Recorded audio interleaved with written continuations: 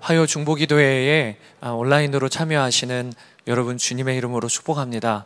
저희가 고백을 했듯이 이곳에 오소서 또 이곳에 자정하소서 그곳이 지금 우리 성도 여러분들이 앉아 있는 그 가정입니다.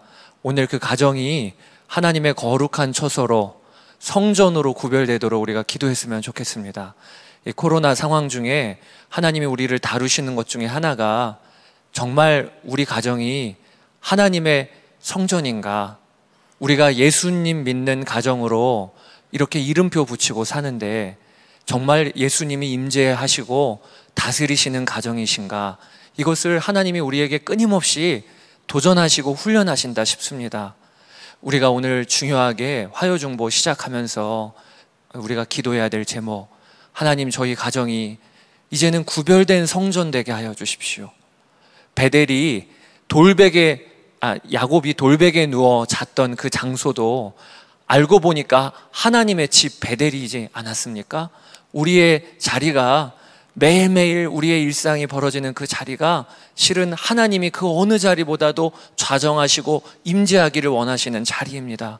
우리 이 시간 기도할 때 하나님 내 자리가 베델의 자리요 하나님의 거룩한 성전으로 구별되는 자리 되게 하여 주옵소서. 오늘 이 기도하는 이 자리에 주의 성령으로 충만히 임재하여 주옵소서. 우리 먼저는 그렇게 기도함으로 시작하기를 원합니다. 같이 기도하겠습니다. 아버지 하나님 감사합니다. 오늘 우리가 각각의 자리에서 각 가정에서 예배하는 그 자리가 하나님이 임재하시는 자리, 주님의 성령이 충만히 운행하시는 자리가 되기를 원합니다.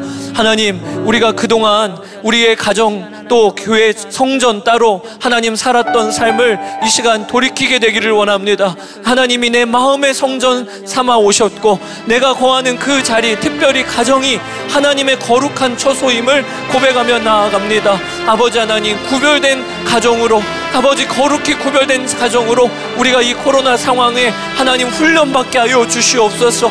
아버지 하나님 오늘도 우리 성도들이 무릎 꿇은 그 가정 가정이 하나님의 영이 충만히 운행하시고 기도를 이끌어 주시는 그 자리가 되게 하여 주시옵소서. 아버지 하나님 그렇습니다. 우리가 자녀들과 날마다 함께 거하는 곳, 또 우리가 아버지 하나님 부부의 아버지 하나님 은밀한 관계까지 나아가는 그곳, 그곳이 바로 하나님의 성전 되게 하여 주시기를 원합니다. 오늘도 기도 중에 우리의 눈을 열어주셔서 아버지 하나님 내가 있는 그 자리가 하나님의 집 베델이 되게 하여 주시고 내가 있는 이 자리가 하나님이 기도를 아버지 쌓기를 원하시는 거룩한 성전 되게 하여 주시옵소서. 오늘도 각각의 자리에서 기도하다가 눈이 열리고 기도하다가 마음이 뜨거워지고 새로운 결단이 일어나며 하나님의 말씀이 가슴에 심어지는 역사가 있게 하여 주시옵소서.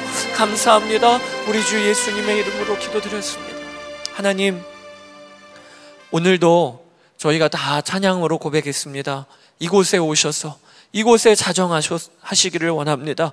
우리 성도들이 앉아 지금 예배로 드리는 그 자리, 기도하는 그 가정이 하나님의 집인 베델이 되게 하여 주시기를 원합니다.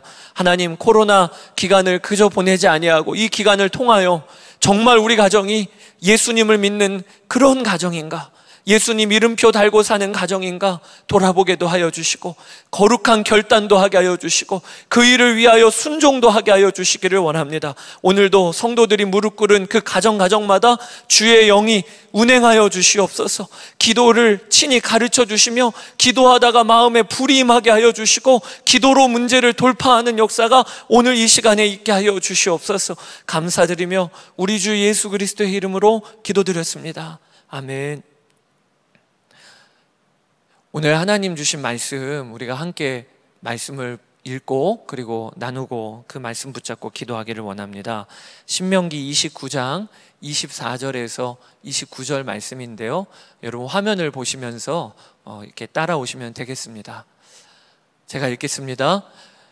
여러 나라 사람들도 묻기를 여호와께서 어찌하여 이 땅에 이같이 행하셨느냐 이같이 크고 맹렬하게 노하심은 무슨 뜻이냐 하면 그때 사람들이 대답하기를 그 무리가 자기 조상의 하나님 여호와께서 그들의 조상을 애굽에서 인도하여 내실 때에 더불어 세우신 언약을 버리고 가서 자기들이 알지도 못하고 여호와께서 그들에게 주시지도 아니한 다른 신들을 따라가서 그들을 섬기고 절한 까닭이라. 이러므로 여호와께서 그 땅에 진노하사 이 책에 기록된 모든 저주대로 재앙을 내리시고 여호와께서 또 진노와 격분과 크게 통한하심으로 그들을 이 땅에서 뽑아내사 다른 나라에 내 던지심이 오늘과 같다 하리라. 감추어진 일은 우리 하나님 여호와께 속하였거니와 나타난 일은 영원히 우리와 우리 자손에게 속하였나니 이는 우리에게 이 율법의 모든 말씀을 행하게 하심이니라. 아멘. 예, 하나님 말씀입니다. 오늘 여러분과 어, 고난의 터널을 통과할 때 이해할 수 없는 고난의 터널을 통과할 때라는 제목으로 어, 말씀을 좀 나누고 그리고 기도하려고 합니다. 아, 제가 지금은 성령 집회 때 안수 기도를 못 하고 있는 상황이죠. 모이지도 못할 뿐더러 또 안수 기도라고 한다는 것이 손을 얹고 그렇게 기도해 드리는 일이라 금년에 참 아쉬운 것 중에 하나가 어, 목회자로서 우리 성도들을 이렇게 안수로 섬겨드리는 일을 감당하지 못하는 일도 저에겐 참 아쉬운 일입니다. 몇 년 전인데요. 금요 성령 집회 때 한 여자 성도님이 나이가 지긋하신데 이렇게 기도를 받으러 앞에 나오셔서 나오셔서 주, 대기하는 그 시간부터 그렇게 우시더라고요. 하염없이 우세요. 그래서 안수기도 하면서도 계속 그 성도가 눈에 들어왔습니다. 그리고는 그 여성도님 차례가 되셨는데 아, 제가 기도 카드를 받아보고 참 마음이 먹먹해졌습니다. 몰아드릴 말씀이 없더라고요. 어, 얼마 전 그 성령 집회 나오기 바로 얼마 전에 다 큰 아, 딸을 잃으신 거예요. 갑작스럽게 딸이 세상을 떠난 겁니다. 그 어머니의 심정이 어떨까? 그런 와중에서도 어떻게 이렇게 기도의 자리를 기억하여 나온 것이 참 감사하기도 하고 또 기도를 해드려야 되는데 어떻게 딸을 잃은 어머니를 뭐라고 기도를 해드릴까? 그저 말씀 뭐, 뭐라고 드릴 게 없어서요. 아, 꼭 두 손을 잡아드리고 한동안 서 있었습니다. 하염없이 우시다가 돌아가셨어요. 오늘 말씀 준비하면서 어, 그몇 해 전에 그 성도님 생각이 났습니다. 오늘도 이 화요중보기도에 참여하시는 어, 우리 성도님들 중에는 정말 생명줄 마지막 하나 남은 것과 같은 마음으로 이 기도회에 들어오신 분들도 계실 거라 믿습니다. 아, 그리고 또 여러분들 중에는 지금 언제 끝날지 모르는 고난의 터널을 끝이 보이지 않는 지금 상황 중에 걸어가시는 분들도 계실 겁니다. 그런 분들에게 아, 오늘 말씀이 하나님이 주시는 말씀이 되기를 원합니다. 저는 짧은 목회 기간이어도 안타깝고 얼마나 어려운 상황 가운데 있는 성도들을 봅니다. 그런 분들에게 어, 정말 정답과 같이 말씀을 드릴 수 있다면 얼마나 좋을까 그런 생각을 많이도 해 보았습니다. 그러나 항상 보면 아, 하나님의 말씀으로 정답을 얻는다는 것이 어떻게 보면 또 쉬운 일이 아니기도 합니다. 여러분들은 어떠십니까? 여러분 삶에 정말 이해할 수 없는 고난의 터널을 통과하시는 분들, 하나님의 말씀을 진짜 붙들고 계십니까? 정답과 같은 하나님의 말씀, 어떻게 이 시기를 통과할지가 분명하십니까? 아, 오늘 그렇게 주께서 말씀을 주셨으면 좋겠습니다. 우리 애플의 창업자인 고 스티브 잡스가 어, 원래는 신앙생활을 하던 자였는데 청년 때부터 교회를 떠났다고 합니다. 그 계기가 되었던 일이 그가 어렸을 때 출석하던 교회의 목사님이 한 번은 말씀을 증거하시기를 하나님의 예정과 섭리에 대한 교리를 말씀을 전하셨다고 합니다. 그것을 잘 듣고 있었던 이 어린 잡스가 다음 주에 이 목사님께 개인적으로 찾아가서 질문을 하나 합니다. 어떤 질문이냐면, 목사님, 만약에 제가 손가락을 하나 들어 올리면 하나님은 어느 손가락을 들어 올리실지 아실까요? 그러니까 목사님께서 그 질문에 대하여 그렇단다. 하나님은 모든 것을 아신단다. 이렇게 대답을 하셨습니다. 이 어린 잡스가 자기 가족이 구독하는 잡지를 들고 가서 목사님께 내어 보이면서 어, 질문을 또 합니다. 그 표지에는 나이지리아 동부 지역에 가난과 기근에 허덕이는 아이들의 사진이 표지에 실려 있었습니다. 그 표지를 목사님께 보이며 질문하기를 그럼 하나님은 이곳에 대해서도 아시고 이 아이들에게 무슨 일이 일어날지도 아시겠네요. 그때 목사님께서 그렇단다. 하나님은 그것도 알고 계시단다. 나중에 스티브 잡스가 회고하기를 그 이후로는 자기는 교회를 다니지 않았다. 그렇게 회고를 했습니다. 여러분께 질문 드려보고 싶습니다. 이 목사님의 대답이 틀리신 걸까요? 이 목사님께서 바른 대답을 못 하신 걸까요? 그렇지 않습니다. 물론 좀 더 이 어린 아이에게 하나님의 풍성하심에 대하여 충분히 말씀을 전해 주시는 것에 대해서는 아쉬운 부분이 있지만 목사님께서 대답하신 하나님께서는 다 아시고 하나님께서는 다 돌보고 계시다라고 하는 이 말씀은 바른 대답입니다. 역대상 29장 12절에 어, 성경은 말하기를 주는 만물의 주제가 되사 손에 권세와 능력이 있사오니 모든 사람을 크게 하심과 강하게 하심이 주의 손에 있나이다. 이렇게 증거하고 계셔요. 우리 하나님께서는요, 모든 것을 주관하십니다. 이 코로나 상황, 또 오늘 이 기도에 참여하시는 여러분들의 어려운 개개인의 형편, 하나님이 모르실까요? 다 아세요. 또 하나님이 그 일에 대하여 주관하고 계시지 않을까요? 지금도 하나님의 통치는 우리의 머리털까지도 세신 바 되신다고 하셨습니다. 그러면 문제가 한 가지 벌어지는 거예요. 아니, 바른 대답인데, 성경은 분명히 그렇게 증거하고 계신데, 그러면 왜 우리의 삶에 이렇게 이해가 안 되는 어려움이 겹치고 겹치고, 언제 끝나야 될지 모르는 이 고난의 터널이 있는 거지요? 여러분, 우리는 알아야 합니다. 고난은 보통 사탄이 주관하는 것이라고 생각합니다. 그러나 그렇지 않습니다. 악한 마귀가 이 세상을 건드릴 수 있는 것은 사실은 없습니다. 하나님이 모든 걸 다스리세요. 그런데 여러분 이 말을 오해하면 안 됩니다. 질병과 고통도 하나님이 행하신 것이다. 이런 뜻은 아닙니다. 성경은 분명히 질병과 고통의 원인이 무엇인가를 밝히고 계셔요. 우리가 하나님과 끊어진 그 일, 죄를 짓고 하나님으로부터 등을 돌리고 그리고 이 세상의 공중 권세를 마귀가 잡은 역사로 이 땅에는 이해할 수 없는 고난과 고통이 이어지는 거고 우리의 삶에도 어려움이 오지요. 그러나 하나님이 모든 걸 다스린다는 말은 이 모든 것도 다 하나님이 허용 안에서만 벌어지는 일이라는 겁니다. 하나님이 허용하시지 않으시면 마귀는 손 하나 까딱할 수 없어요. 욥기서가 말하고 있잖아요. 욥이 말할 수 없는 고난을 받았지만 그 고난은 하나님이 허락하신 범위 안에서만 벌어진 거예요. 하나님이 허락하지 않으시면 마귀는 어떤 것 하나 건들 수 없습니다. 그게 우리가 믿는 믿음이에요. 그런데 이 믿음으로 우리의 삶에는 문제가 벌어지기를 아 그러면 하나님의 자녀인 우리 성도들에게는 하나님이 우리를 사랑하신다고 하셨는데 그러면 고난이 없어야 맞는 거 아닐까요? 우리의 삶에는 이해할 수 없는 고난의 터널이 좀 구별돼야 맞는 것 아닐까요? 그런데 우리도 예외가 없는 거예요.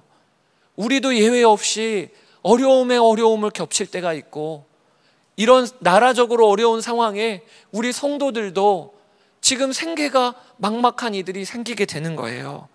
그러면 그 일에 대해서 우리는 어떻게 이해해야 될까요? 아주 오래 전입니다. 필립 얀시 목사님이 저희 교회에 오셔서 말씀을 전해 주신 적이 있으세요. 그때 이 필립 얀시 목사님이 교회에 오셔서 말씀 전해 주셨던 제목이 고난 당하고 있을 때 하나님은 어디에 계셨습니까? 였습니다. 고난 당하고 있을 때 하나님은 어디에 계셨습니까? 필립 얀시 목사님이 관련된 주제의 책들을 많이 쓰셨죠. 한국에서도 많이 출판이 되었습니다. 세계 곳곳의 재난과 참사의 현장을 찾아가서 사람들을 만나고 인터뷰하고 또 교회의 성도들 중에 고난당하는 성도들을 많이 만나보고 그리고 나서 책을 쓴 거니까 그런 분도 드물지요. 아, 저도 그 필린얀 씨 목사님의 책을 보면서 많은 영감도 또 답도 얻었습니다. 그런데 그 책의 말미에 그리고 집회 중에도 이 목사님이 고난당하는 중에 하나님은 어디에 계셨습니까? 하나님은 왜 이런 고난을 주셨나요? 라고 하는 많은 사람들의 질문에 대답하시기를 뭐라고 대답하셨냐? 모른다. 모른다.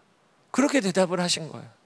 아, 제가 한편으로는 책을 쓰는 것도 나름 쉬운 일일 수도 있겠구나. 그런 생각도 들었습니다. 여러분, 왜 나는 가난하고 깨어진 집에 태어나서 어릴 적부터 심한 폭력에 시달리며 늘 두려움에 떨어야 했던 것이지요? 왜 나는 원치 않은 병에 걸려 평생을 몸을 쓰지 못하는 장애를 아는 채 살게 되는 것이지요? 왜 그렇게도 하나님께 신실하게 살았던 내 가족 중에 중병에 걸려 고생을 하다가 생을 마감한 것이죠?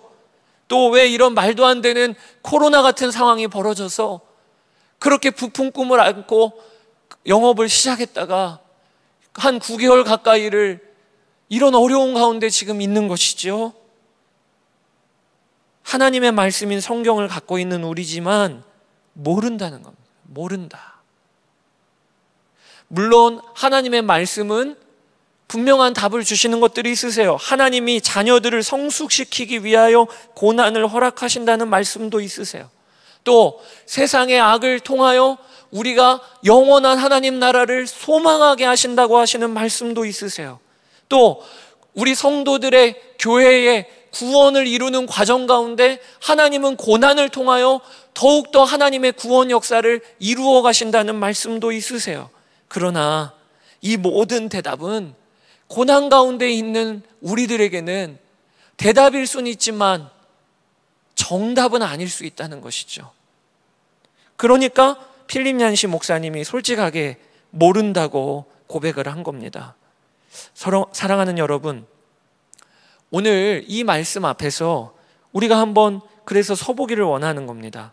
성경에 이해할 수 없는 고난을 당한 대표적인 사람이 욥입니다. 우리는 다 욥에 대하여 알고 있습니다. 정말 이해할 수 없는 어려움을 당했지요. 욥은 끝까지 하나님께 질문합니다.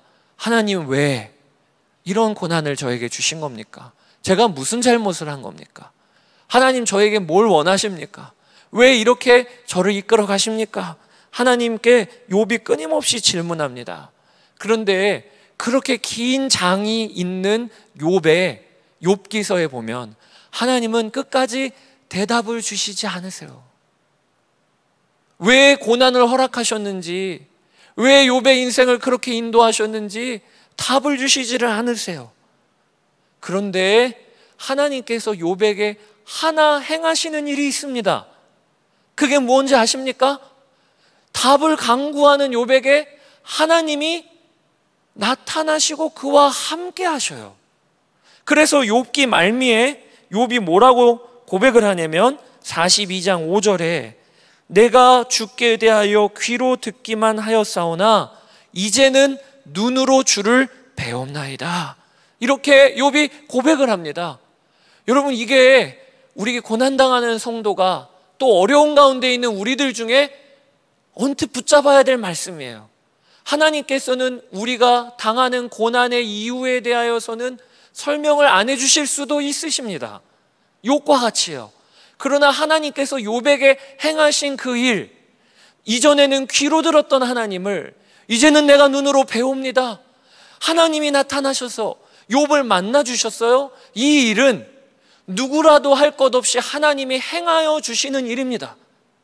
초대교회의 오순절 마가의 다락방에서 성령 하나님이 믿는 성도들에게 내려오셔서 그들과 함께 거하시고 이 일은 이제는 모든 믿는 성도들에게 이루어진 일입니다.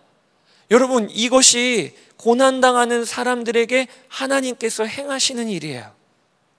어떻게 보면 이해할 수 없는 상황 가운데 우리는 질문합니다. 왜 그런 겁니까, 하나님? 그러면 답을 알려주면 문제가 해결이 되는 겁니까? 아, 그래서 그렇게 내가 고난당하는 거군요. 그래서 내가 언제까지 이 고난을 버티면 되는 거군요. 이 답을 알려주면 그러면 문제가 해결되는 겁니까? 우리는 그렇게 여겨요. 근데 하나님은요, 답을 알려주시는 게 하나님의 방법이 아니고요, 모든 답을 알고 계시는 하나님이 고난당하는 성도와 함께 해 주심으로 하나님은 답을 주시는 거예요. 필립 얀시 목사님이 그런 이야기를 책에 쓰셨어요. 고난과 고통을 지켜보는 사람들은 항상 하나님이 없다고 외칩니다. 우리가 옆에서 지켜보고 있으면 아니 믿는 성도인데 우리 어머니는 믿는 분이셨는데 어쩜 저렇게 고생하실까? 그러면 어떤 마음이 들지요? 하나님 안 계신가 봐. 그렇게 우리는 딱 결론을 내리지요. 그러나 그 다음에 말씀하신 것, 고통의 당사자들은 오히려 하나님이 계신 것을 필요로 합니다. 우리가 어려움 당할 때 나와 함께 계시는 하나님이 계신 그것이 우리에게 답이 되는 거예요. 모든 답을 알고 계시는 하나님이 지금도 나와 함께 계시다. 이것이 우리에게 답이 되는 거예요. 저도 개인적으로 오랫동안 풀리지 않는 어려움이 있었습니다. 그게 신실하셨던 아버지가 인생의 절반 가까이를 식물인간으로 누워 계셨던 것이지요. 한 19년 가까이 이 질문에, 이 일에 대한 질문 얼마나 들었는지 몰라요. 왜요? 하나님 왜 이렇게 하신 겁니까? 누구도 답을 해줄 수가 없었어요. 어느 목사님에게도 어느 교수님에게도 저에게 답으로 여겨지지 않았어요. 그런데 오랜 그 시간을 지나고 지금 되돌아보니까 여전히 문제는 해결되지 않고 그대로 하나님 나라로 하나님 아버지는 가셨지만 저에게 변화된 게 있어요. 그게 뭐냐? 그 고난으로 인하여 기도하고 몸부림치면서 제가 어느새 모든 답을 알고 계시는 하나님을 요배 고백처럼 주님이 지금 나와 함께 계시는 게 믿어졌어요. 그 고난을 통하여 하나님은 나와 함께 계신 분이라 나의 아버지시라 선하신 아버지시라 라는 게 믿어졌어요. 그리고 그 믿음 하나로 저의 삶은 다 변화됐어요. 여전히 풀리지 않지만 여전히 질문에 대한 답은 못 얻었지만 그러나 그게 저를 흔들 수가 없게 되었어요. 왜냐하면 모든 답을 알고 계시는 하나님이 살아계신 하나님으로 저는 경험하고 있으니 여러분 하나님이 그 일을 우리에게 행하시는 겁니다. 감리교회 창시자 요한 웨슬리가 형제가 18명이 있었습니다. 그렇게 많이 낳았어요. 그의 어머니 수잔나 웨슬리가 참 지혜롭고 우리 자녀들을 말씀으로 양육했던 어미였는데요. 한 번은 한 기자가 이 수잔나에게 와서 질문을 합니다. 짓궂은 질문이었어요. 18명의 자녀가 있으신데 그 18명의 자녀 중에 가장 예쁜 자녀가 있다면 누굽니까? 아마 기자는 그 유명한 존 웨슬리 혹은 찰스 웨슬리 그렇게 대답을 할 거라고 여겼는지 그 질문을 물어봤습니다. 그때 이 수자나 웨슬리가 했던 대답이 유명해요. 뭐라고 대답을 했냐면 아픈 것이 다 나을 때까진 몸이 아픈 자녀가 가장 사랑스럽고 집으로 돌아올 집을 나간 자, 녀가 집으로 돌아올 때까지는 그 자녀가 가장 사랑스럽습니다. 그렇게 대답을 했어요. 정답이지요. 다 18명의 아이들 있지만 아픈 자녀가 있으면 그 아이가 낳을 때까지는 그 자녀가 가장 사랑스럽고 집을 나선 자녀가 있다면 그 자녀가 오늘 저녁에 집에 돌아올 때까지는 그 자녀가 가장 사랑스럽다. 이게 어미의 마음이지요. 여러분 하나님께서는요. 고난의 터널을 통과하고 있고 이해할 수 없는 어려운 가운데 있는 우리 성도들을 향하여 어떻게 보시냐면 아픈 자녀가 낳을 때까지는 그 자녀가 가장 사랑스럽다고 여기시는 우리의 아버지세요. 하나님께서는요, 고통 가운데 있는 이들을 향하여 특별한 관심을 갖고 가까이 계십니다. 하나님의 사랑은 동일해요. 그러나 그 하나님의 자비와 인자하신 성품이 고난 가운데 있는 성도들을 향하여서는 더 가까이 가시는 것입니다. 여러분 레위기를 읽어보세요. 참 특별한 것이 하나님의 율법인 레위기가요. 그렇게도 많이 고아와 가부에 대하여 언급합니다. 하나님의 성도들에게 하나님은 동일한 성도이지만 성도들에게 누차누차 얘기하시기를 너희가 과부를 돌보라. 너희가 고아를 그냥 보내지 말아라. 계속 그 이야기를 하고 계십니다. 왜 그렇게 하시는 거지요? 아버지의 마음인 거예요. 고난당하는 성도들, 이해할 수 없는 어려운 가운데 있는 분들 계시다면 지금이 하나님이 가장 가까이 계실 때임을 여러분 꼭 믿으시게 되기를 바랍니다. 지금이 하나님을 찾을 만한 때임을 그리고 하나님을 만날 만한 때임을 여러분 믿으시게 되기를 바랍니다. 그리고 오늘 우리가 본문 말씀을 붙잡게 되기를 원합니다. 오늘 본문은 참 특별한 본문입니다. 모세가 요단강을 앞에 두고 이스라엘 백성들을 모아놓고 그들에게 한 설교의 한 부분입니다. 이 설교의 내용이 우리에게 참 특별하게 와닿는 것 중에 하나가 뭐냐면 이제 요단강을 건널 거예요. 40년 동안 광야에서 방황을 하고 그 긴 기간을 지나고 나서 이제는 가나안 땅이 눈앞에 보이는 겁니다. 얼마나 꿈에 부풀었겠어요. 이제는 하나님이 약속하신 저 땅으로 들어가는 거니까 그 백성을 인도했던 모세에게도 얼마나 이 순간은 정말로 기념적인 순간이겠어요. 그런데 모세가 백성들에게요, 어떤 말씀을 전하냐면, 정말 말도 안 되는 너무 당황스러운 말씀을 전하는 겁니다. 그게 뭐냐? 너희들이 저 땅에 들어가면 머지않아 하나님을 어기고 배반하고 하나님이 너희를 향하여 진노하사 너희를 온 땅에 흩으실 것이라. 이 말씀을요, 요단강을 건너기 전에 백성들에게 모세가 한 거예요. 그게 오늘 본문 27절, 28절입니다. 이러므로 여호와께서 이 땅에 진노하사 이 책에 기록된 모든 저주대로 재앙을 내리시고 여호와께서 또 진노와 격분과 크게 통한하심으로 그들을 이 땅에서 뽑아내서 다른 나라에 내던지심이 오늘과 같다 하리라. 모세가 예언처럼 말씀을 전한 거예요. 가나안 땅을 앞에 두고 있지만 너희들이 저 땅에 들어가면 하나님의 진노, 하나님의 율법을 그렇게 어기고 어기니까 하나님의 진노를 받고 그리고 하나님이 모든 열국으로 너희를 뽑아 흩어버리실 것이라. 충격적인 말씀이죠. 여러분, 모세가 이 말씀을 백성들에게 전했다는 말은 무슨 뜻입니까?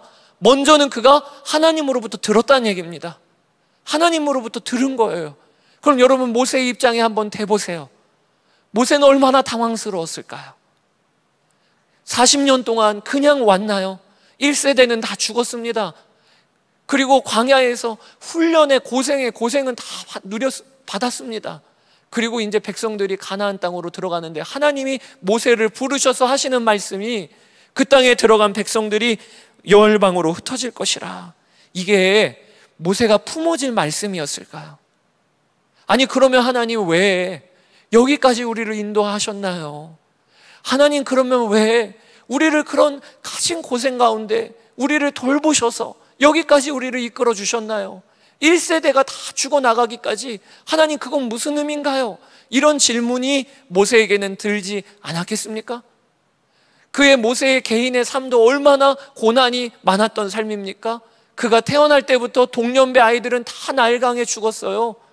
그리고 그는 40년 동안 왕궁에서 자랐던 그가 이유도 모른 채 광야에서 무명의 삶을 보냈습니다. 그리고 한 나라의 대표자로 세워졌다고 하지만 그게 보기 좋은 대표자였나요? 수시로 백성들이 모세에게 와서 원망하고 죽이려 들고 했던 그 고난의 시절을 다 통과한 겁니다. 그런데 이제 가나안 땅 통과하면 요단강을 넘어가면 되는데 그때도 하나님이 주시는 말씀은 이해할 수 없는 말씀을 주시는 거예요. 아, 모세가 어떻게 이것을 받을 수 있었을까요? 그런데 중요한 것은 모세가 받았으니까 전한 거죠. 백성들에게 모세가 담대하게 담담하게 이 말씀을 전했다는 얘기는 모세는 이 말씀마저도 아멘하였기 때문에 전한 거지요. 어떻게 그럴 수 있었을까요?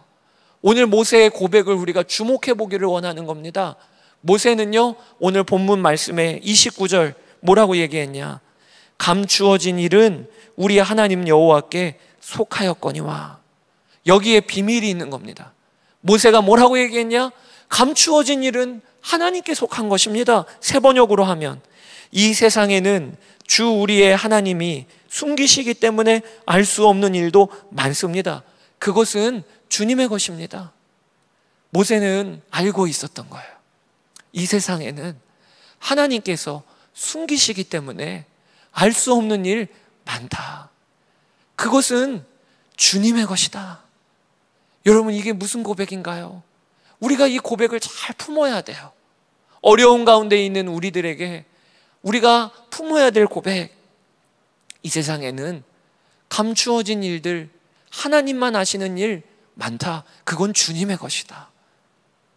모세는 그 어떤 선지자보다 하나님 가까이 갔던 선지자입니다. 하나님이 얼굴과 얼굴을 대면하여 본 이는 모세밖에 없다고 하셨어요. 그만큼 하나님의 은밀한 곳까지도 나아갔던 자가 모세입니다. 그런데 그 그랬던 모세도 고백하기를 이 세상에서는 하나님만 알고 계시는 감추어진 영역이 많습니다. 나는 그거를 그대로 인정합니다. 나는 그 하나님을 신뢰합니다. 그렇게 고백했다는 거예요. 여러분 이것을 우리가 오늘 믿음으로 취해야 되겠습니다. 하나님은 왕이세요. 우리가 다 이해하지만 그래야지만 우리가 신앙생활할 수 있는 게 아닙니다. 어떤 것은 감추어진 게 있습니다. 그때 뭐가 필요하죠? 그건 하나님께 속했어. 우리 하나님은 은혜요, 자비의 하나님이셔. 우리 하나님은 나와 교회를 사랑하시는 하나님이셔. 그 하나님을 신뢰함으로 하나님께 맡겨드리는 믿음이 필요한 거예요. 이사야서 55장 9절에 이사야도 고백했어요. 이는 하늘이 땅보다 높은 같이 내 길은 너희의 길보다 높으며 내 생각은 너희의 생각보다 높음이니라 라고 하는 하나님의 말씀을 이사야는 전했어요. 어떤 믿음인 거지요? 하나님의 길과 생각은 땅에서 하늘이 높은 같이 높으시다. 그거를 이사야는 선포했던 거예요. 기독교 윤리학자 중에 스탠리 하워스라고 하는 학자가 있습니다. 신학자가 있어요. 그분이 책 쓴 책 중에 한나의 아이라고 하는 책이 있는데 그 책에 참 그런 이런 그 구절이 있어요. 기독교인의 삶은 답 없이 사는 법을 배우는 것이다. 그도 자기의 결혼했던 아내가 얼마 지나지 않아서 정신병이 듭니다. 그래서 한 10년 가까이를 아내를 돌봐요. 모든 게 다 멈춰버립니다. 아내를 돌봐야 하니 자기가 꾸었던 꿈, 그 다음에 가정에서 아내와 보내는 시간을 위해서 모든 걸 다 포기해야 했어요. 10년 동안 아내는 나아질 기미를 보이지 않았어요. 그 동안에 얼마나 많은 질문이 들었을까요?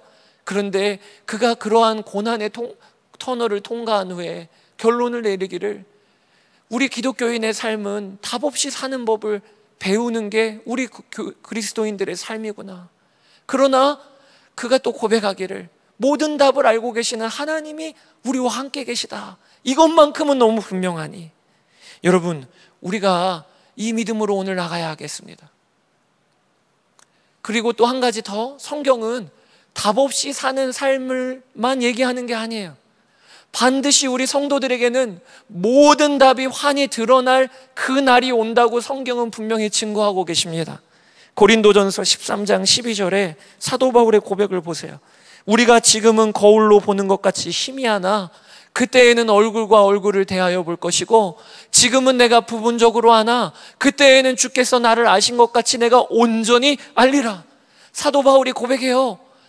우리가 부분적으로 지금은 알 수밖에 없지만 그래서 답 없이 살 때도 있지만 그러나 반드시 그때에는 그때가 언젠가요? 우리 주 예수님께서 영광의 주님으로 오시는 그날, 또 우리가 죽어서 우리 하나님 앞에 서는 그날, 그날은요, 얼굴과 얼굴을 대하여 볼 것이고, 온전히 알게 되는 날이 올 거라고 분명히 약속하고 계십니다. 그러니 오늘 답이 주어지지 않아도요, 소망 가지고 살아갈 수 있는 거죠. 그런 사람에게 나타나는 특징이 있습니다. 하나님께 매달리는 거예요. 내가 답은 몰라도 모든 답이 되시는 하나님이 나와 함께 계시니 그 하나님 바라보며 사는 거예요. 모세가 그랬잖아요. 감추어진 것은 하나님께 속한다라고 하는 이 믿음을 갖고 있었던 모세는 어떤 문제가 와도 먼저는 무릎을 꿇었어요. 왜냐하면 누구에게 찾아간다고 답을 얻는 게 아니니까 오직 다윗인 하나님 앞에 무릎을 꿇는 거예요. 여러분 오늘 우리에게 그 믿음이 필요합니다. 오늘도 말할 수 없는 이해할 수 없는 고난의 터널 가운데 계신 분 계십니까? 사람 찾아간다고 답 나오지 않아요. 어떤 것을 본다고 답 나오지 않아요. 그저 다윗인 하나님 앞에 머무르는 것, 그게 우리에게는 힘이 되고요, 소망이 되고, 그게 우리에게는 능력이 되는 것입니다. 그 역사가 있게 되기를 축복합니다. 그리고 또 오늘 말씀에 우리가 두 번째 붙잡아야 될 말씀이 있습니다. 고통 가운데 있다면요, 우리에게 주신 하나님의 말씀이 뭐냐? 그런 와중에서도 우리에게 알려주신 말씀에게는 순종하라는 거예요. 29절 한번 보세요. 감추어진 일은 우리 하나님 여호와께 속하였거니와 그런데 나타난 일은 영원히 우리와 우리 자손에게 속하였나니 이는 우리에게 이 율법의 모든 말씀을 행하게 하심이니라. 하나님께서는요, 다 감추신 게 아니라는 거예요. 하나님께서는 우리에게 보여주신 게 있다고 하시는 거예요. 그게 뭐냐? 하나님의 말씀을 보여주셨다는 거예요. 세 번역으로 보면 하나님은 그의 뜻이 담긴 율법을 밝히 나타내 주셨으니 이것은 우리의 것입니다. 우리와 우리의 자손은 길이 길이 이 율법의 모든 말씀에 순종해야 합니다. 모세는요, 또 우리에게 비밀을 알려주고 있어요. 신앙의 비밀. 감추인 것은 하나님께 속했지만 하나님은 말씀을 통하여 우리에게 이미 드러내 주신 게 너무 분명히 있다는 거예요. 이 일에 대하여는 먼저 순종함으로 걸어가라. 이게 모세가 우리에게 알려주었던 비밀이에요. 사랑하는 여러분. 왜 나를 그렇게 평생 가시같이 찌르는 사람을 두셨을까요? 우리는 도무지 이해할 수 없습니다. 그러나 내 이웃을 내 몸과 같이 사랑하라. 라고 하시는 하나님의 뜻은 우리에게 드러나 있어요. 왜 예수 믿는 내 형제 자매가 고난과 고통 가운데 있는 것일까요? 하나님만 아시는 영역이 있어요. 그러나 우는 자들과 함께 울고 웃는 자들과 함께 울라라고 하시는 하나님의 말씀은 드러나 있어요. 하나님의 말씀, 모든 사람이 구원을 받으며 진리를 아는데 이르기를 원하시느니라 라고 하는 말씀이 드러나 있어요. 오늘 이 기도에 참여하는 성도분들 중에 슬픔과 아픔으로 가득한 분 계십니까? 그때 하나님의 말씀이 드러나 있는 말씀이 있어요. 예레미야 29장 11절. 여호와의 말씀이니라. 너희를 향한 나의 생각을 내가 하나니 평안이요 재앙이 아니니라. 너희에게 미래와 희망을 주는 것이라. 라고 하나님은 우리에게 알려주셨어요. 하나님은 절대 우리를 멸망토록 내버려 두지 않으십니다. 우리를 세워주십니다. 우리에게 소망이 있게 하십니다. 그게 하나님의 계획이에요. 나의 부모는 어렸을 적부터 왜 나에게 말할 수 없는 고통만 안겨주었을까요? 하나님만 아시는 영역이 있어요. 그러나 우리에게 하나님은 분명히 말씀으로 드러내셨어요. 내 부모를 공경하라. 이것이 약속이 있는 첫 계명이라. 오늘 말씀은 그 드러내신 말씀에 우리가 답은 몰라도 나에게 알려주신 말씀은 순종하며 나아가라는 거예요. 그게 우리 그리스도인들이 고난의 터널을 통과하는 방법입니다.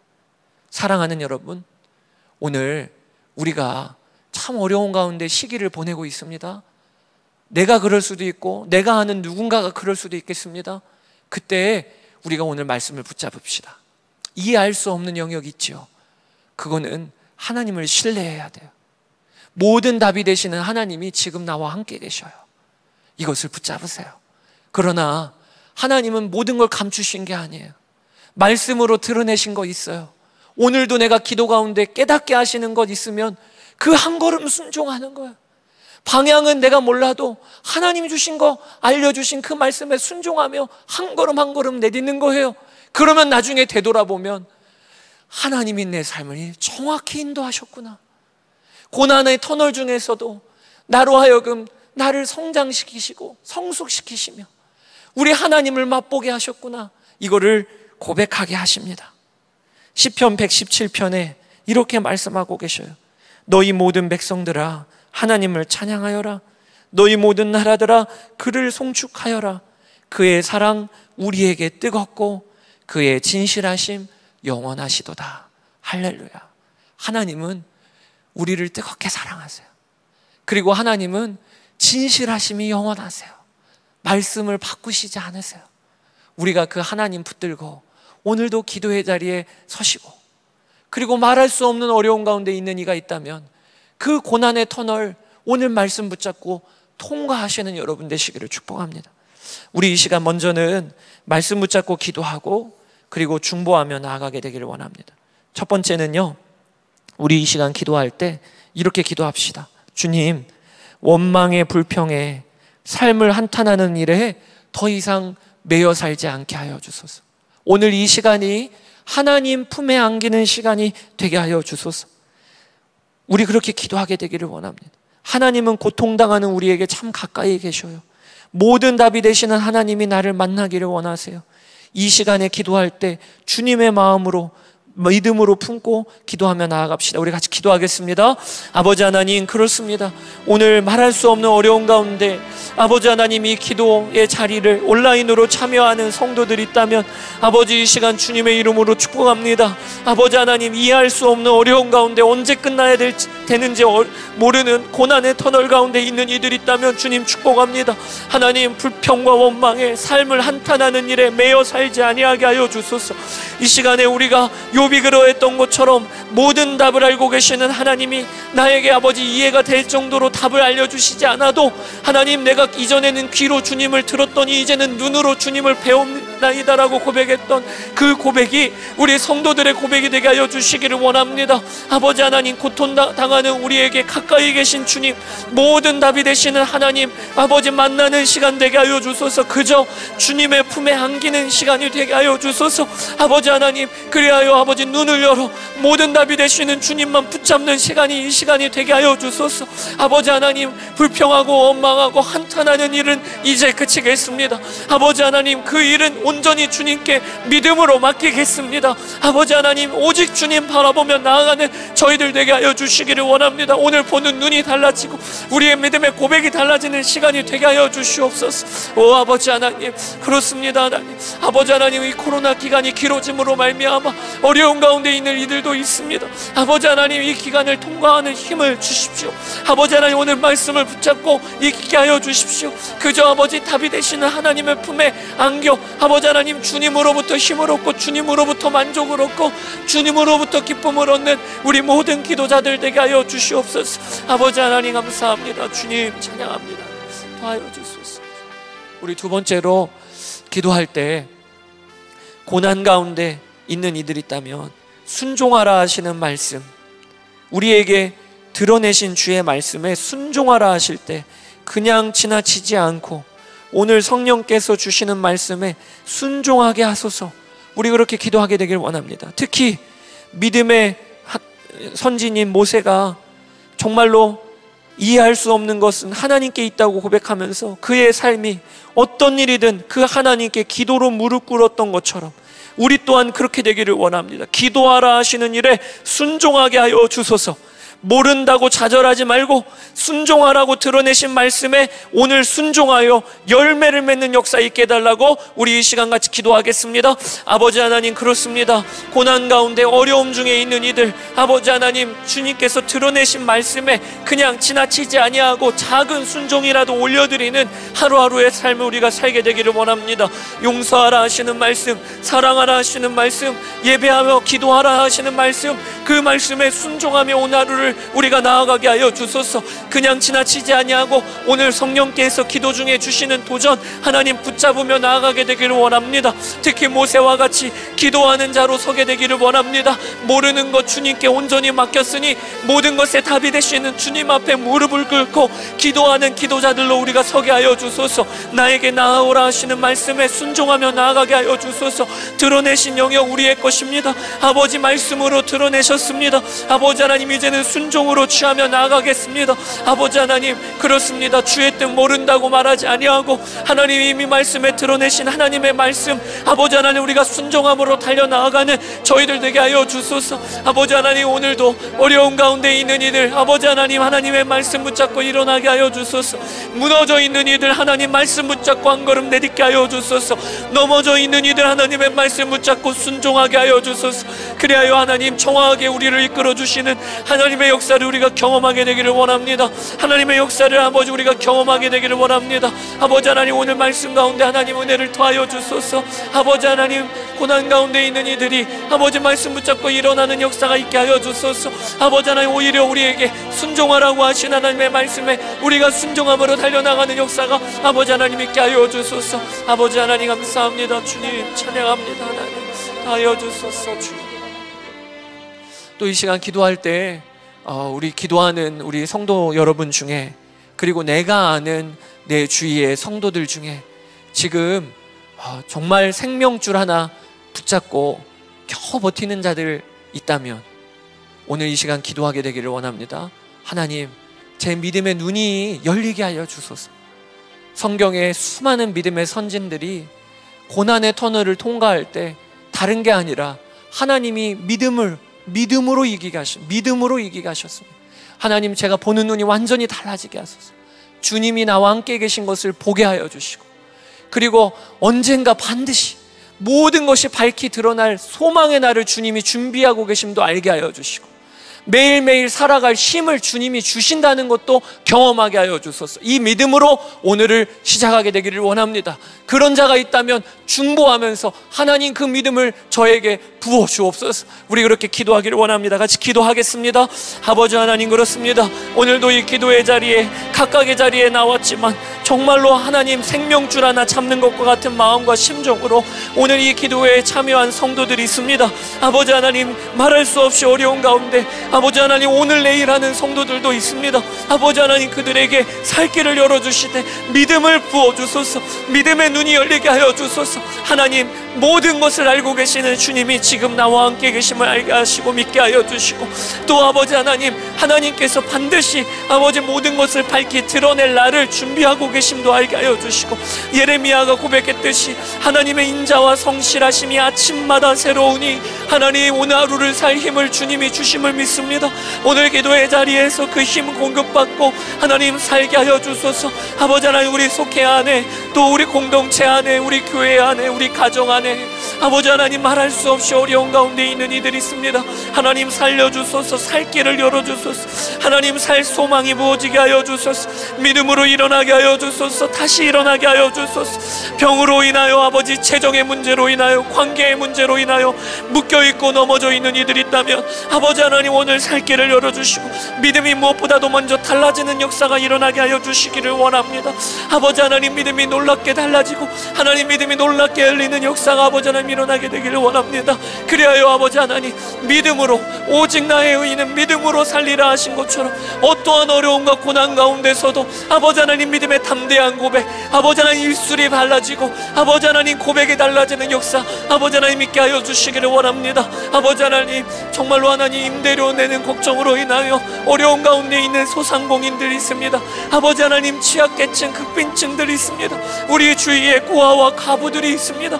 아버지 하나님 살 길을 열어주소서 아버지 하나님께서 공급하시며 아버지 하나님 말씀으로 하나님 세우시며 아버지 하나님 주님께서 믿음을 달리하게 하시며 아버지 하나님 보는 눈이 달라짐으로 말미암아 다시 일어나는 역사가 아버지 하나님 있게 하여 주옵소서. 아버지 하나님 감사합니다. 주님 찬양합니다. 하여 주옵소서. 우리 이 시간에 기도할 때 우리 이번 한 주간 동안에 특별 새벽 기도회로 온 교회 성도들이 모이고 있습니다. 우리가 위하여 기도할 때 하나님 교회 안에 기도한 강, 기도의 강력한 연합이 일어나게 하여 주소서. 한 주간 이어지는 특별 새벽 기도회를 통하여 큰 은혜가 가정마다 속해마다 임하게 하여 주소서. 우리 그렇게 중보하기를 원합니다. 이번 한 주간이 정말로 2020년에 기억되는 한 주간으로 2020년은 어려운 한 해가 아니라 하나님이 우리에게 기도에 불을 붙여주신 한 해로 그런 한 주간이 되기를 원합니다. 나도 그렇고, 우리 속해도 그렇고, 우리 공동체도 그래야 합니다. 우리 이 시간 각각의 자리에서 기도하며 나가겠습니다. 아버지 하나님 그렇습니다. 하나님 교회 안에 기도의 강력한 불이 붙게 하여 주시고, 기도의 연합이 일어나게 되기를 간절히 원합니다. 한 주간 이어지는 특별 새벽 기도의 자리가 하나님의 은혜가 부어지는 자리가 되게 하여 주소서. 우리의 각 가정마다 개인마다 아버지 하나님 그 심령의 기도에 불이 붙는 역사가 일어나게 되기를 원합니다. 아버지 하나님 우리의 속회와 우리의 공동체마다 기도에 불이 붙는 역사가 일어나게 되기를 원합니다.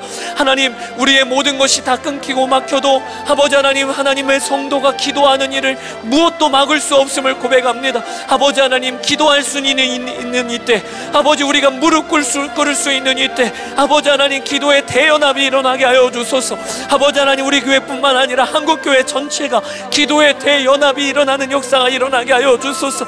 가을로 접어드는 이때 아버지 하나님 새 계절이 아버지 하나님 그저 아버지 사계절의 환경의 계절이 아니라 우리의 마음과 심령의 영적인 새 계절이 오게 되기를 원합니다. 하나님이 일으켜 주시는 놀라운 기도의 계절 하나님 우리의 심령이 살고 우리의 심령의 회복이 되어지고 기도의 불이 붙는 역사들이 각 가정마다 각 개인마다 아버지 각 속회마다 있게 되기를 원합니다. 아버지 하나님 인도하여 주소서. 아버지 하나님 사모하는 마음으로 이 새벽마다 우리가 모이게 하여 주소서. 어느 한 가정 빠짐없이 하나님 기도의 연합을 이루게 하여 주소서. 아버지 우리의 삶을 하나님께 온전히 올려드리는 강력한 기도 운동이 일어나게 하여 주소서. 새벽마다 선포되어지는 말씀이 능력의 말씀으로 아버지 하나님 생명의 말씀으로 우리가 다 붙잡게 하여 주시며 그 말씀에 오직 순종함으로 열매를 맺는 하루하루가 되게 하여 주시기를 원합니다. 아버지 하나님 교회 안에 강력한 기도의 불 기도의 강력한 연합 이 일어나게 되기를 원합니다. 오 아버지 하나님 그렇습니다. 아버지 이번 한 주간 특별 새벽 기도회가 아버지 하나님 2020년 어려운 한 해가 아니라 하나님께서 새 일을 행하시는 한 해로 기억되어지는 한 주간이 되기를 원합니다. 하나님이 기도에 불을 붙이시며 우리의 심령 심령을 기도로 일으키시는 그 기억이 되어지는 한 주간이 되기를 원합니다. 아버지 하나님 각각의 자리가 거룩하게 구별된 기도의 초소로 구별되게 하여 주소서. 아버지 살아계시고 어미하신 하나님 앞에서 아침을 깨어 기도 하는 기도자들이 일어나게 하여 주소서. 기도의 거룩한 습관이 들이고 아버지 하나님 기도자들로 일어나는 은혜가 아버지 하나님 있게 하여 주소서. 아버지 하나님 감사합니다 주님. 찬양. 우리 연이어 기도할 때 우리 선한 목자 교회만을 위하여 기도할 게 아니라 여러분들도 우리 여러분들의 교회 이름을 불러가며 기도해 주시길 바랍니다. 한국 교회 안에 기도의 연합이 있게 되기를 원합니다. 한국 교회가 기도하다가 정결하게 세워지게 되기를 원합니다. 그래서 온 나라와 민족이 우리 한국 교회를 보면서 교회의 영광이 저런 것이구나. 하나님께 속한 하나님 나라 백성은 저렇게 사는 거구나. 세상과 구별된 정결함이 있구나. 거룩함이 있구나. 이것을 보는 역사가 일어나게 되기를 원합니다. 교회가 세상의 소망입니다.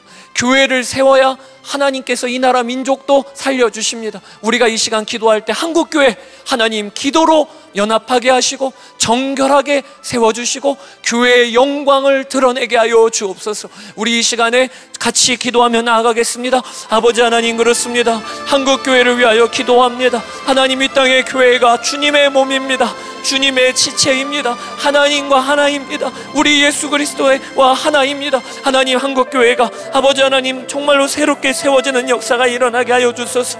각 교회마다 기도로 연합되어지는 은혜가 있게 되기를 원합니다. 기도의 대부흥, 대연합이 일어나게 되기를 원합니다. 각 교회 교회마다 아버지 기도자들이 일어나고 삶의 증인, 복음의 증인이 일어나는 역사가 일어나게 하여 주시고 다음 세대가 살아나는 역사가 일어나게 하여 주시고 다음 아버지 각 교회마다 목회 자들이 일어나게 하여 주시고 교회의 리더들이 새롭게 세워지는 역사가 일어나게 되기를 원합니다.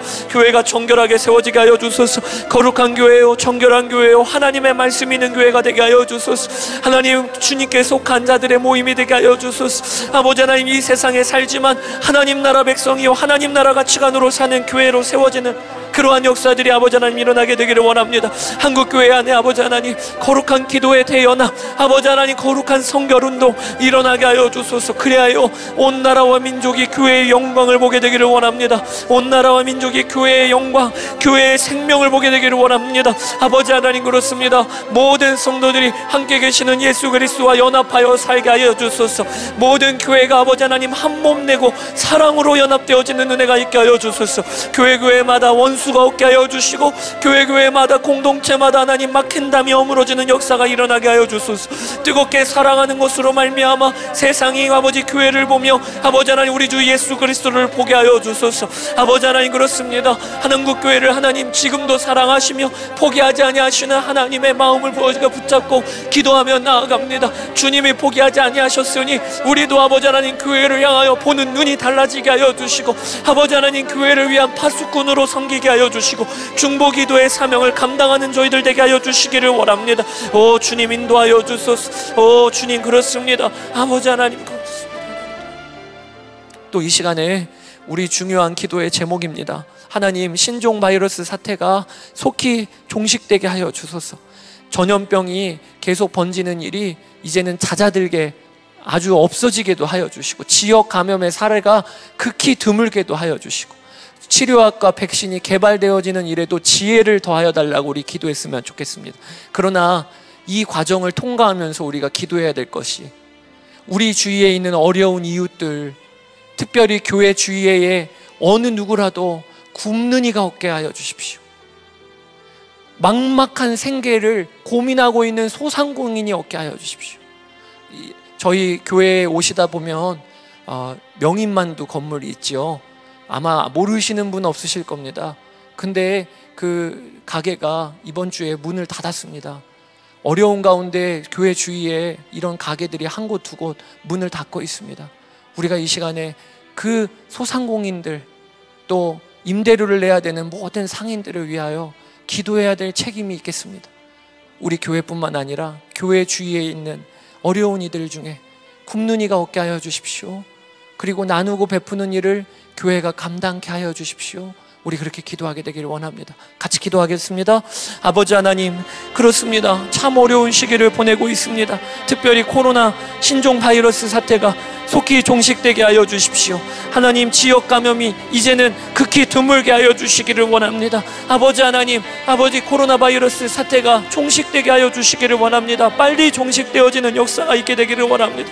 치료약과 백신이 개발되게 하여 주시고 아버지 하나님 안정적으로 공급되어지는 일에도 하나님께 서 지혜를 더하여 주시고 모든 나라들이 연합되어지는 일에도 하나님 주님께서 친히 이끌어 주시기를 원합니다. 아버지 하나님 모든 것이 멈추어 선것과 같이 경제적으로도 타격을 받고 교육적으로도 타격을 받는 모든 분야 분야가 아버지 회복이 되어지는 역사가 일어나게 되기를 원합니다. 아버지 하나님 이 일을 감당하고 있는 모든 방역 당국과 의료진들에게 힘을 더하여 주시기를 원합니다. 아버지 하나님뿐만 아니라 교회 주위에 굶고 어려움 당하는 이들이 없게 하여 주소서. 임대료를 내야 되는 모든 아버지 소상공인들에게 어려움이 없도록 하나님께서 이때 교회와 성도들이 나누고 베푸는 사명을 감당하는 역사가 일어나게 되기를 원합니다. 우리 주위에 아버지 하나님, 아버지 외롭고 아버지 하나님 우리 주위에 먹을 것을 걱정하는 아버지들이 하나도 없게 하여 주시기를 원합니다. 교회가 아버지 하나님 세상에 생명의 강물, 아버지 하나님 은혜의 강물을 흘려보내는 하나님의 통로가 되게 하여 주소서. 성소에서 흘러나오는 생명의 강물이 세상을 살리는 역사가 그대로 이 시대의 교회 가운데 이루어지게 하여 주시기를 원합니다. 아버지 하나님, 아버지 그렇습니다. 아버지 하나님 이 아버지 일선에서 코로나와 싸우고 있는 모든 의료진들에게 힘을 더하여 주시기를 원합니다. 이 일을 결정하고 이끌어 나아가는 모든 당국자들에게 지혜와 힘을 더하여 주시기를 원합니다. 주님 인도하여 주소서. 아버지 하나님 감사합니다. 주님 감사합니다. 또 우리가 연이어 기도할 때 우리 실제로 지금 당하고 있는 바이러스도 문제지만 이 나라 안에 곳곳에 퍼져 있는 영적인 바이러스, 음란과 동성애가 이 땅에서 자리를 잡지 못하도록 우리가 계속 기도해야 하겠습니다. 특히 동성애 합법화를 위한 모든 시도가 무산되게 하여 주소서. 포괄적인 차, 포괄적 차별금지법 제정되지 아니하게 하여 주소서. 이 일을 위하여 우리 믿는 성도들의 기도도 일어나지만 각각의 전문가들이 연합도 되게 하여 주소서. 우리 그렇게 기도하고 핸드폰을 보는 그 시간이 아이들에게 점점 늘어나고 있습니다. 그러면서 아이들이 이 음란물에 접속하는 횟수도 점점 늘어납니다. 음란이 이 땅에 자리를 못 잡게 하소서. 이것을 가지고 사업을 하는 모든 사업체들이 있고 이 일을 통하여 돈벌이 하려고 하는 모든 악한 사업들이 무너지게 하여 주소서. 우리 그렇게 기도했으면 좋겠습니다. 같이 기도하겠습니다. 아버지 하나님 그렇습니다. 이 땅의 영적인 바이러스 음란과 동성애 자리를 잡지 못하게 하여 주시기를 원합니다. 우리 아이들이 아버지 하나님 가정에서 핸드폰을 쳐다보는 시간이 길어질수록 접속의 횟수가 많아지는 음란 아버지 하나님 그것이 아버지 하나님 우리 아이들의 마음에 자리를 잡지 못하게 하여 주시기를 원합니다. 특별히 아버지 하나님 악한 이 사업을 벌이는 모든 사업이 무너지게 하여 주소서. 돈을 이것을 돈을 위하여 음란을 아버지 유통하고 음란을 제작하는 모든 악한 사업들이 무너지게 하여 주시기를 원합니다. 중독을 조장하고 중독을 유통하는 모든 악한 사업들이 무너지게 되기를 원합니다. 이 나라가 동성애 합법화를 위한 모든 시도가 무너지게 되기를 원합니다. 포괄적 차별 차별금지법이 제정되어지지 아니하게 하시고 아버지 하나님 우리 교회가 기도할 뿐만 아니라 아버지 이 일을 위한 각계각층의 전문가들이 연합되게 하여 주소서 온 국민에게 포괄적 차별금지법의 문제가 무엇인가가 정확하고 바르게 아버지 알려지게 하여 주시기를 원합니다. 아버지 하나님 그렇습니다. 이 나라가 아버지 하나님 동성애로 또한 아버지 음란으로 무너지지 아니하게 하소서. 지금도 여, 여러 곳에서 낙태를 행하는 그 죄가 아버지 하나님 더 이상 벌어지지 아니하게 하여 주소서.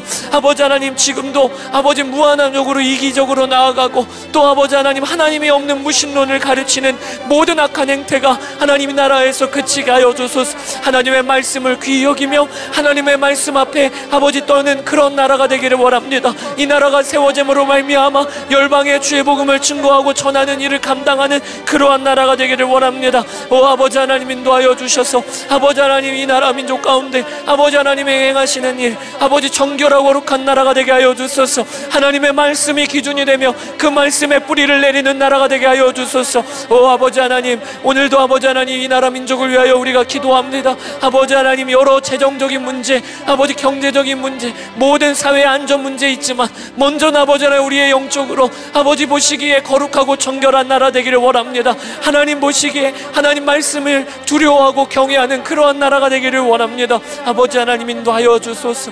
아버지 하나님 감사합니다. 연이어 우리가 기도하게 되기 원합니다. 다음 세대 아이들 놓고 기도했으면 좋겠습니다.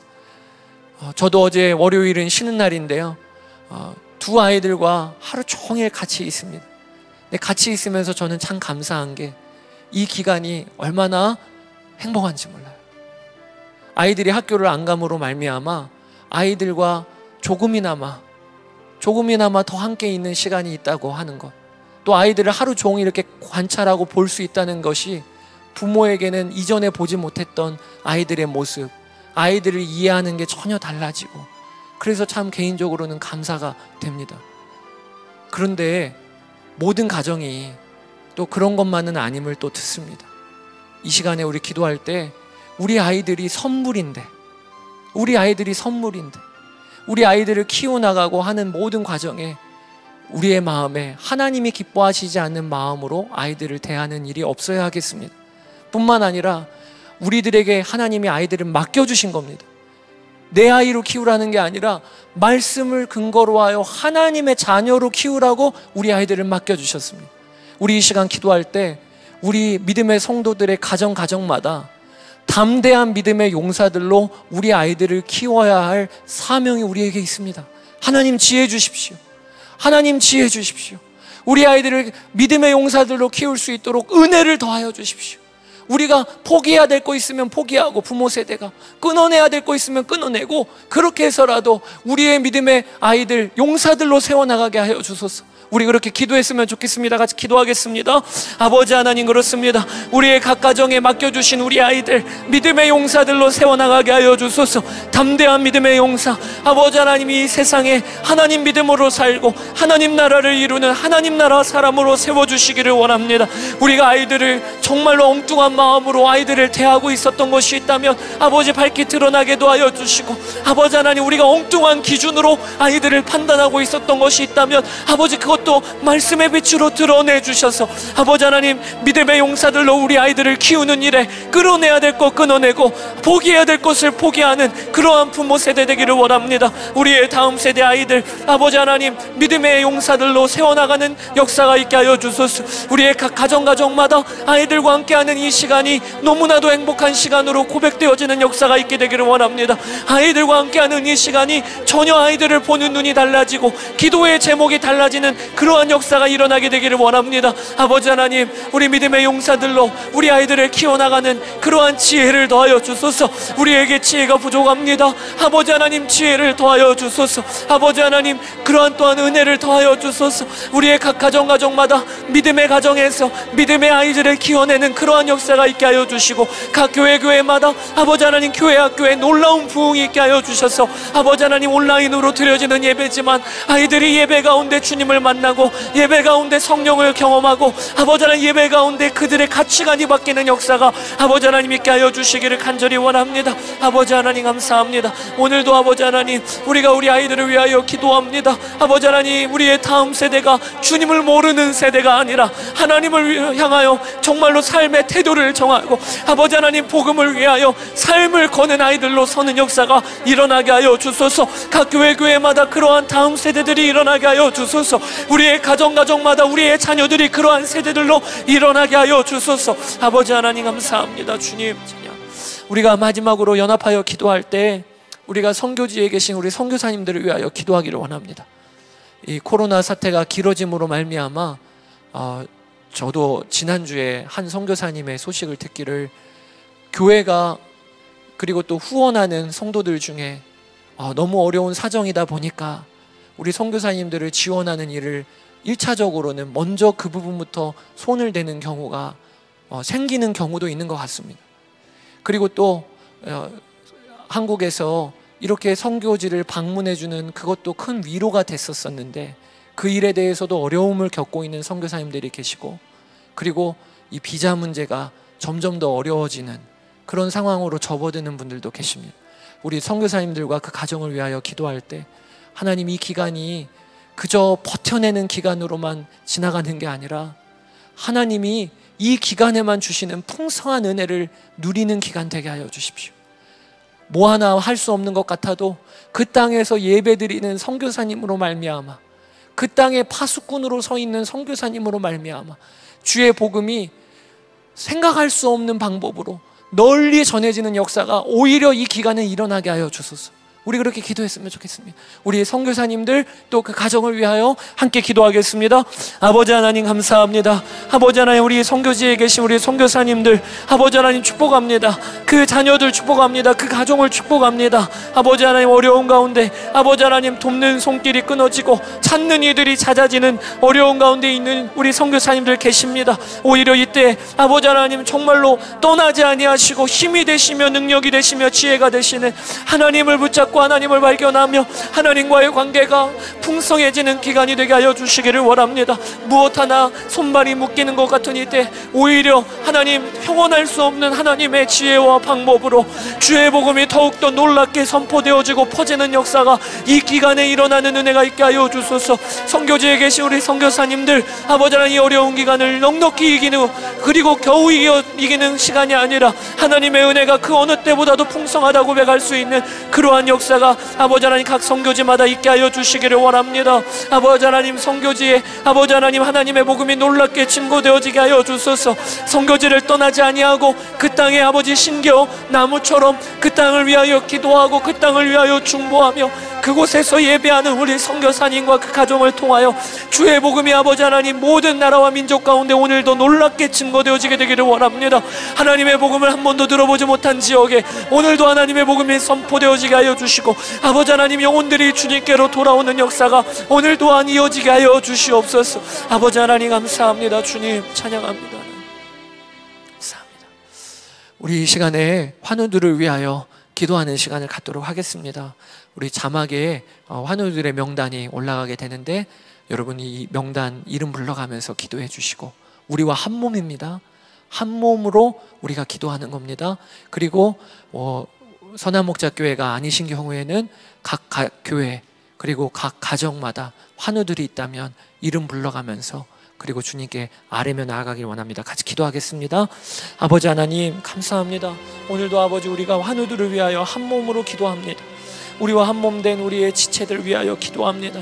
하나님 우리 박노숙 군사님 아버지 하나님 췌장암의 항암 치료를 잘 받고 치유되는 역사가 일어나게 하여 주소서. 아버지 하나님 그런 믿음의 믿음을 더하여 주시고 이 기간도 하나님이 함께 손잡고 가는 기간 되게 하여 주시기를 원합니다. 박종혁 원사님 중증 무기력증 또 허리뼈 골절 위출혈 모든 질환에서 깨끗하게 치유함을 받게 하여 주시기를 원합니다. 아버지 하나님 주님께서 친히 만져 주소서. 모든 몸의 구석구석 하나님께서 주의 보혈로 덮어 주소서. 모든 기능이 회복이 되어진 은혜가 있게 하소서. 석동국 원사님 허리 수술 또 그다음에 암 제거 후에 후유증 없는 완전한 회복을 원합니다. 아버지 하나님께서 권사님의 삶 가운데 아버지 하나님 평안이 되어 주시고 보호자가 되어 주시고 하나님께서 온전하게 몸이 회복이 되어질 수 있도록 몸의 모든 기능이 돌아올 수 있도록 도와주시기를 원합니다. 하나님 만져 주소서, 만져 주소서. 친하신 성도님 전립선암 여러 군데로 전이되고 통증으로 일상생활이 어려운 가운데 있습니다. 하나님, 하나님께서 하나님 몸을 만져 주셔서 통증이 완화되어지고 치유와 평안을 주시기를 원합니다. 전이 되었던 암이 줄어들게 하여 주시고 아버지 회복의 길이 열리게 하여 주시기를 원합니다. 아버지 하나님 어려운 가운데서도 주님을 바라보는 믿음의 눈이 날마다 더욱더 분명하고 또렷해지게 되기를 원합니다. 아버지 하나님 이범승 집사님 갑상선 유도암 수술 그리고 심방세송 시술 하나님 아버지 하나님 받, 습니다 모든 아버지 준비하는 과정 가운데도 하나님 담대함을 주시고 평안을 주시고 아버지 하나님 모든 시술과 수술 모든 과정에도 하나님께서 간섭하여 주셔서 정확하게 아버지 수술을 받게 도하여 주시고 그 이후에 회복이 속히 임하게 하여 주시기를 원합니다. 완전한 치유가 아버지 하나님 집사님과 집사님 가정 가운데 임하게 되기를 원합니다. 임미자 원사님 간암이 전이되어 시술 가운데 하였습니다. 더 이상 전이되지 아니하게 하여 주소서. 온몸이 깨끗하게 나음을 얻게 하여 주소서. 암의 모든 근원이 마르게 하여 주소서. 하나님 몸이 온전히 회복되어지게 하여 주소서. 우리 강민 김민정 자매 하나님 고액 회사가 일어나는 궤, 궤저성 농피증 아버지 하나님 희귀질환의 원인도 밝혀지고 치료법도 아버지 분명하게 드러나고 아버지 하나님 모든 피부가 정결하고 깨끗하게 되어지게 되기를 원합니다. 아버지 하나님 그 근원이 아버지 밝히 드러나고 그 뿌리마저도 뽑히는 역사가 일어나게 되기를 원합니다. 주님께서 만져주소서. 딸에게 이 어려운 기간에 넉넉히 이겨나갈 수 있는 믿음과 담대한 마음을 주시기를 원합니다. 아버지 하나님 우리 강주원 어린이 백혈병 사기 가운데 있습니다. 하나님 사랑하는 아버지 하나님 어린이 아버지 하나님께서 우리 어린이를 강주원이를 하나님 만져주소서 회복시켜 주소서 완치되게 하여 주소서. 아버지 하나님 평상 가운데 있는 우리 주원이가 하나님 바라보게 하여 주시고 아버지 하나님 주님과의 관계가 놀랍게 열리게 하여 주시고 주님이 친히 고쳐주셨다고 고백할 수 있는 역사가 아버지 하나님 있게 되기를 원합니다. 우리 문정환 성도님 전리성 난 사기 가운데 있습니다.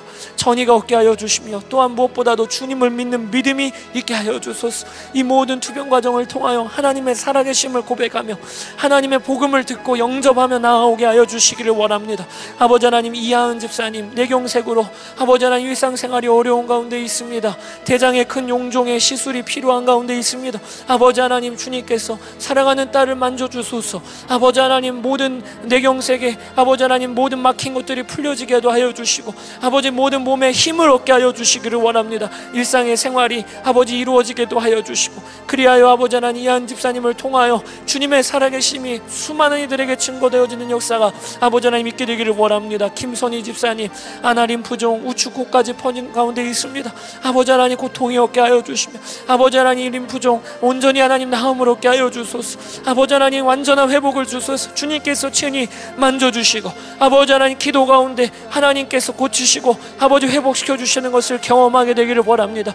아버지 백혜란 집사님 갑상선 유두암 수술 아버지 온전한 회복 가운데 하나님 주시옵소서. 하나님 아버지 온전한 몸이 회복이 되어지고 아버지 암의 근원이 마르게 하여 주시기를 원합니다. 아버지 하나님 그렇습니다. 하나님 이승면 아버지 하나님 성도님 아버지 장로 수술 가운데 있습니다. 또 아버지 심장도 좋지 않은 가운데 있습니다 있습니다. 아버지 하나님 일상생활에 불편함이 없도록 또 하나님 인도하여 주시고 병가 노하는 가족들에게도 힘을 더하여 주시고 또한 아버지 하나님 장, 아버지 하나님 우리 어, 장로님께서 아버지 하나님께서 하나님 풀어주시는 역사 아버지 하나님 주님께서 만져주시는 역사가 있게 하여 주시기를 원합니다. 아버지 하나님 장세홍 장로님 주님께 올려드립니다. 아버지 하나님 악성님 부종 항암 후 후유증으로 어려운 가운데 있습니다. 통증 가운데 있습니다. 아버지 하나님 사랑하는 아들을 아버지 하나님 그 노년을 주님께서 존귀하게 하여 주소서. 하나님께서 아버지 하나님 몸의 모든 기능이 돌아오고 힘을 얻고 회복을 얻게 하여 주시고 팔다리가 힘을 얻게 하여 주시고 모든 통증이 얻게 하여 주시고 암이 전이 되지 아니하도록 하여 주시기를 원합니다. 아버지 하나님 후유증으로부터 완전히 회복되어진 은혜를 주시기를 원합니다. 우리 존해벽 성도님 아버지 하나님 담도함으로 수술하였습니다. 아버지 하나님 온전한 치유를 주소서. 또 또한 무엇보다도 믿는 믿음을 주소서. 하나님 나라 백성으로 구별되어지는 역사가 일어나게 하여 주소서. 아버지 하나님 또 홍성옥 아버지 하나님 성도님 하나님께서 고관절 수술 후에 급 아버지 폐렴 증상으로 음식을 섭히기가 어려운 가운데 있습니다. 하나님 모든 증상이 완화되어지게 하여 주시고 음식을 먹고 소화시키고 영양분으로 아버지 섭취하는 모든 과정이 어려움이 없도록 주님께서 풀어주시기를 원합니다. 아버지 그 자리에서 일어나는 역사 일어나게 되기를 원합니다. 평간호하는 모든 환우, 환우의 가족들에게 하나님 힘을 더하여 주소서. 기도로 하나님 이 고난의 터널을 통과케 하여 주소서. 아버지 하나님 감사합니다 주님. 아버지 하나님 오늘 이 화요중보 기도에 말할 수 없는 고난의 터널 이해할 수 없는 어려운 가운데 있는 이들에게 하나님 이 시간에 눈을 열어 주소서. 모든 답을 알고 계시는 완벽한 답이신 아버지 하나님이 지금 함께 계신 것을 알게 하여 주시고 주님을 이전하고는 전혀 달리 온전한 신뢰로 나아가는 믿음이 부어지게 하여 주시기를 원합니다. 오늘도 우리에게 주신 드러내 주신 말씀 그저 흘려보내지 아니하고 말씀에 순종하는 하루 되게 하여 주소서. 기도하라 하신 말씀, 원수도 사랑하라, 나누고 베풀라 하신 말씀, 작은 힘이라도 한 걸음 내디르며 이 어려운 시기를 이겨나가게 되기를 원합니다. 하나님, 우리 주위에 어려움 당한 이들 많습니다. 살 길을 열어주소서. 오히려 이 2020년 한 해가 나중에 훗날 되돌아보면 은혜와 감사로 찬양할 것만 남는 한 해가 되게 하실 줄을 믿습니다. 이 나라도 그렇게 세워주소서. 이 나라의 모든 의료진들, 코로나와 싸우고 있는 일선의 의료진들에게 힘을 더하여 주시고, 방역당국에게 지혜를 더하여 주시고, 모든 나라의 기능이 정상으로 속히 돌아오게 하여 주소서. 그리고 무엇보다 모든 보이는 것뿐만 아니라 이 나라 안에 영적인 모든 바이러스들, 음란, 동성애 다 꺾이게 되기를 원합니다. 정결하게 세워지는 나라 되기를 원합니다. 하나님, 이 땅의 교회가 하나님의 몸입니다. 하나님의 영광을 드러내는 통로가 되게 하여 주소서. 한국교회 안에 기도의 대연합이 일어나게 하여 주시고, 통해 자복하며 정결하게 삶을 드리는 성도들의 거룩한 연합이 일어나게 하여 주시기를 원합니다. 각 교회 교회마다 복음의 증인들이 무수히 많이 세워지게 되기를 원합니다. 각 교회 교회마다 다음 세대를 믿음의 용사들로 키워나가게 되기를 원합니다. 우리의 각 가정이 거룩히 구별된 성소 되게 하여 주시고 우리의 자녀들이 하나님 나라 백성 되게 하여 주시옵소서. 오늘 우리 환우들을 위하여 기도하였습니다. 이름 불러 올려드린 그 환우들 한 명 한 명마다 이 시간 주님께서 주의 보혈의 손으로 만져주소서. 환부를 만져주셔서 병이 떠나가게 하여 주시고 믿음이 전혀 달라지게 하여 주시고 우리 환우들을 돌보는 가족들에게도 감당할 수 있는 힘을 더하여 주옵소서. 감사합니다 주님. 우리 주님을 찬양합니다. 우리 주 예수 그리스도의 이름으로 기도드렸습니다. 아멘